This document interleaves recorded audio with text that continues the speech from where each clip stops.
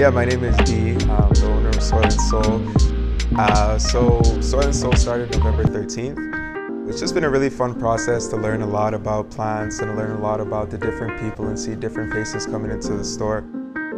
When I started to get a little bit more into plants, I started to notice that, you know, this might be a really good market to kind of emerge into the community and this is all about community. I really, uh, I really love the plants in here and I really love the process of everything when it comes into plant related things.